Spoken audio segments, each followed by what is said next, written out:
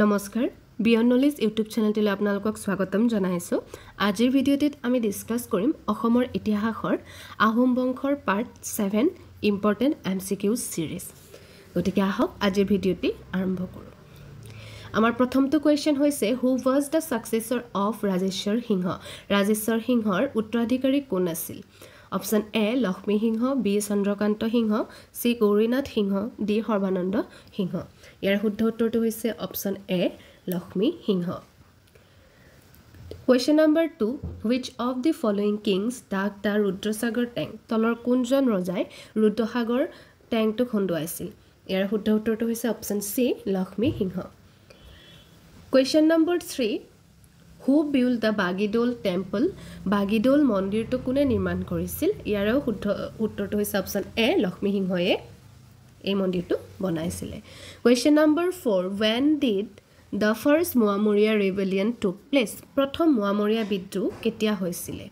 Option C নম্বৰটো শুদ্ধ seventeen sixty nine এইটো ইম্পৰ্টেণ্ট হয় এইটো ইয়াৰ সোধা দেখা যায় মোৱামৰীয়া বিদ্ৰোহ প্ৰথম কেতিয়া হৈছিলে? আৰু মোৱামদ মোৱামৰীয়া বিদ্ৰোহৰ পিছৰ পৰাই কি হৈছিলে? আহোম বংশৰ পতন হ'বলৈ আৰম্ভ হৈছিলে আৰু যথেষ্ট খেলি মেলি হোৱা দেখা গৈছিল। Question number five during which Ahom king reign the Moamoria rebellion took place কোনটো আহোম ৰজাৰ ৰাজত্ব কালত মোৱামৰীয়া বিদ্ৰোহ সংঘটিত হৈছিলে এইটো ইম্পৰ্টেণ্ট কুৱেশ্যন হয়। ইয়াৰে শুদ্ধ উত্তৰটো হৈছে option number D Lakshmi Singha. Lakshmi সিংহৰ ৰাজত্ব কালতে কি হৈছিলে? মোৱামৰীয়া বিদ্ৰোহ হৈছিলে। আৰু ইয়াৰ আগৰ লক্ষ্মী সিংহৰ আগৰ যিসকল ৰজা আছিলে শিৱসিংহৰ ৰাজত্বৰ কালৰ পৰা শিৱসিংহক আৰু তেওঁৰ পত্নী বৰৰজা ফুলেশ্বৰী কি আছিলে? শাক্ত ধৰ্ম আছিলে। আৰু তেওঁলোক অৰ্থডক্স স্বভাৱৰ আছিলে গতিকে তেওঁলোকে বেছি শাক্ত ধৰ্মক বিশ্বাস কৰিছিল আৰু আন আন ধৰ্মবিলাকত গৈ তেওঁলোকে জোৰ জবৰদস্তি কৰিছিলে যিসকল শংকৰ ধৰ্মৰ শংকৰ সংঘৰ লোক আছিলে মহন্তসকল আছিলে তেওঁলোকৰ ওপৰত অত্যাচাৰ কৰিছিলে। আৰু তেতিয়াৰ পৰা সেই সময়ত যিসকল মহা সন্ত মহন্তবিলাক আছিলে তেওঁলোক ক্ষোভিত হৈছিলে হৈ পেলাই মোৱামৰীয়া বিদ্ৰোহৰ সৃষ্টি কৰিছিল। So' question number six after the Moamoria rebellion who took the throne Moamoria বিদ্ৰোহৰ পিছত কোনে ৰাজপাত দখল কৰিছিল?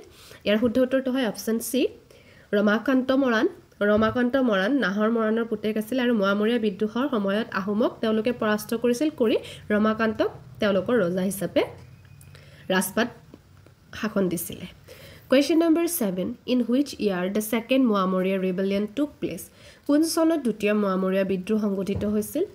ইয়াৰে শুদ্ধ উত্তৰটো হৈছে option number C seventeen eighty two question number eight after the peace treaty between the Ahom and the Moamoria what was the name of the new kingdom of the Moamoria Ahom আৰু মোৱামৰীয়াৰ মাজত শান্তিৰ চুক্তিৰ পিছত মোৱামৰীয়াসকলৰ নতুন ৰাজ্যখনৰ নাম কি আছিলে?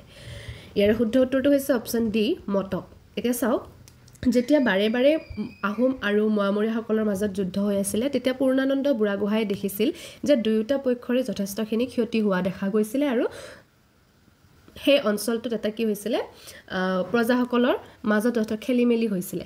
চ' সেইটোৰ কাৰণে পূৰ্ণানন্দ বুঢ়াগোহাঁই ভাবিলে যে যদি মোৱামৰীয়াসকলক এটা বেলেগকৈ এৰিয়া দি দিয়া যায় তেতিয়াহ'লে কি হ'ব? এই বিদ্ৰোহটো দমন কৰিব পৰা যাব। আৰু সেই উদ্দেশ্যে কি কৰিছিলে তেওঁলোকে এই শান্তি চুক্তিৰ জৰিয়তে মটক বৰ্তমানৰ তিনিচুকীয়াত আছে সেই মটক ৰাজ্যখন কি কৰিছিলে মোৱামৰীয়াসকলক গতাই দিছিলে।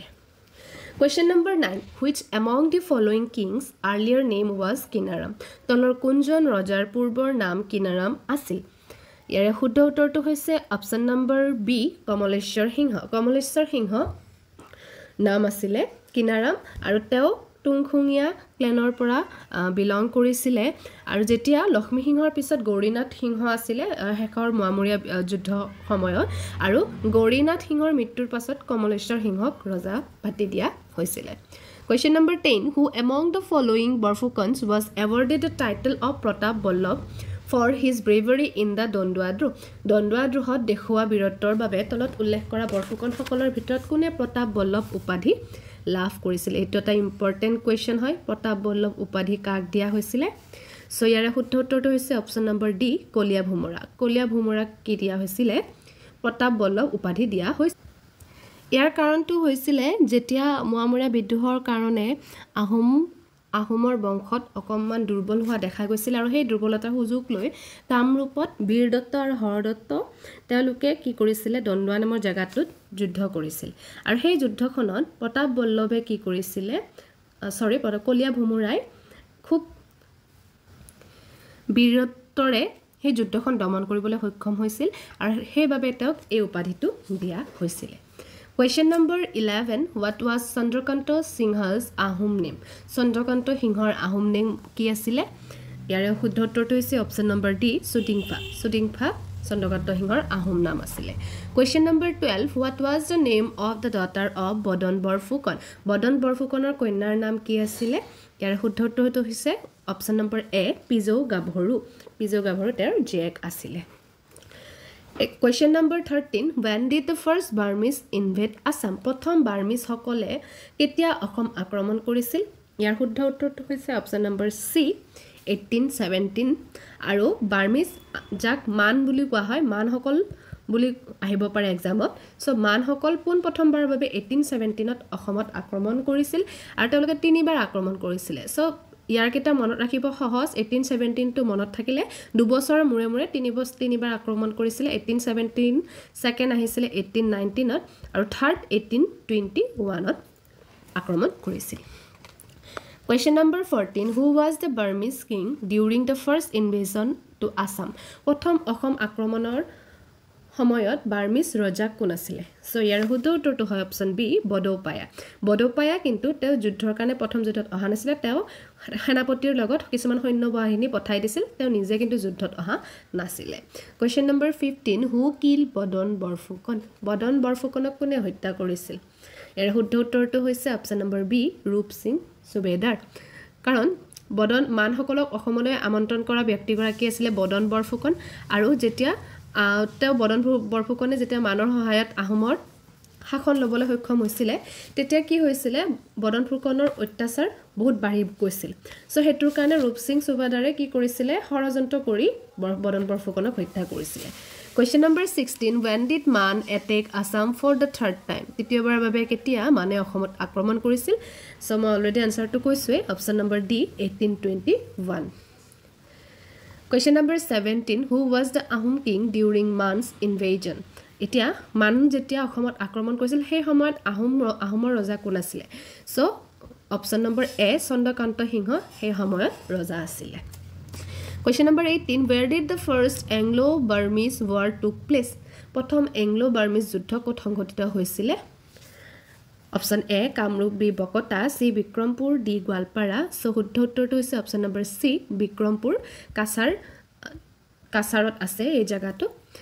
যেতিয়া মানসকলৰ প্ৰথমতে তেওঁলোকে অসমত থাকিম বুলি অহা নাছিলে তেওঁলোকে জাষ্ট বদন বৰফুকনক সহায় কৰিছিল। পিছলৈ কি কৰিছিলে? মানসকলে তেওঁলোকৰ সাম্ৰাজ্য অসমতো বিস্তাৰ কৰিম বুলি ভাবিছিলে আৰু তাৰ পাছত অসমত অহাৰ পিছত মানসকলে অসমৰ মানুহৰ ওপৰত বহুত ধৰণৰ অত্যাচাৰ কৰিছিল। আৰু সেই অত্যাচাৰটো আজিৰ সময়তো মানৰ দিন বুলি ক'লে মানুহে অসমীয়া মানুহে ভয় খাইছিলে। চ' তেনেকুৱা ক্ষেত্ৰত তেনেকুৱা পৰিস্থিতিত আহোমৰ ৰজাই কি কৰিছিলে? ইংৰাজৰ পৰা সহায় বিচাৰিছিল আৰু ইংৰাজে আহোমক সহায় কৰিবলৈ আহিছিলে। আৰু ইংৰাজসকলে প্ৰথম বাৰ্মিছৰ লগত বিক্ৰমপুৰ নামৰ জেগাটোত যুদ্ধ কৰিছিল। Question number nineteen who was the last Ahom king আহোমৰ শেষ ৰজাজনৰ নাম কি আছিলে? চ' ইয়াৰ শুদ্ধ উত্তৰটো হয় অপশ্যন ডি পুৰন্দৰ সিংহ। এই কুৱেশ্যনটোক বহুতবাৰ এক্সামত আহিছে। চ' পুৰন্দৰ সিংহ কি হয়? আহোমসকলৰ শেষ ৰজা। Question number twenty when did the treaty of Yandabo sign য়াণ্ডাবুৰ সন্ধি কেতিয়া স্বাক্ষৰিত হৈছিলে? ইয়াৰ শুদ্ধ উত্তৰটো হৈছে option A twenty fourth February eighteen twenty six এতিয়া চাব ডেট আৰু ইয়াৰটোৰ মাজত অলপ কনফিউজন হয়।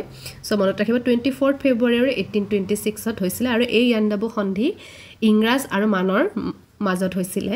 যেতিয়া এই যুদ্ধত ইংৰাজে যেতিয়া আহোমক সহায় কৰিবলৈ আহিলে মানসকলে পৰাজয় বৰণ কৰিছিল আৰু এই চুক্তি অনুসৰি মানসকলে আৰু অসমত দুনাই কেতিয়াও ঘূৰি নাহে বুলি ছাইন কৰিছিলে। আৰু ইয়াৰ পিছৰ পৰা আমাৰ অসমত ব্ৰিটিছৰ শাসন আৰম্ভ হৈছিলে আৰু এইখিনিলৈকে আমাৰ মিডিয়েবল পিৰিয়ডটো আছিলে। ইয়াৰ পিছৰ ভিডিঅ'টোত আমি মডাৰ্ণ আছাম হিষ্ট্ৰী ডিছকাছ কৰিম। এতিয়া আপোনালোকলৈ এটা কুৱেশ্যন থাকিলে। কুৱেশ্যনটো হৈছে যেতিয়া ইয়াণ্ডাবু সন্ধি হৈছিলে সেই সময়ত মানৰ ৰজা কোন আছিল? আপোনালোকে মোক কমেণ্ট কৰি জনাব। গতিকে আজিৰ ভিডিঅ'টি ইমানলৈ আছিল। আপোনালোকে যদি মোৰ ভিডিঅ'টি চাই ভাল পাইছে তেনেহ'লে মোৰ চেনেলটো ছাবস্ক্ৰাইব কৰিব ভিডিঅ'টি লাইক কৰিব। থেংক ইউ ফৰ ৱাচিং